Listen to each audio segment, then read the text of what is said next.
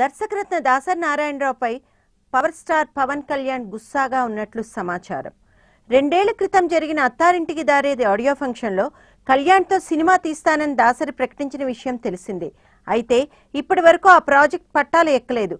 ఈ సినిమా గురించి దాసరిని ఎప్పుడు అడిగినా చేద్దాం చూద్దాం అంటూ దాటవేస్తున్నాడట.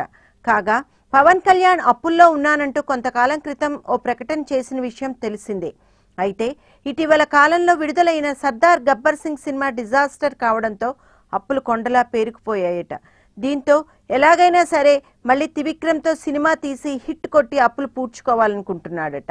అయితే దాసర్ మాత్రం సినిమా తీసేందుకు ఆసక్తి చూపటం లేదు. దీంతో దాసర్ నారాయణరావుపై పవర్ స్టార్ గరం గరంగా ఉన్నాడని టాలీవుడ్ టాక్.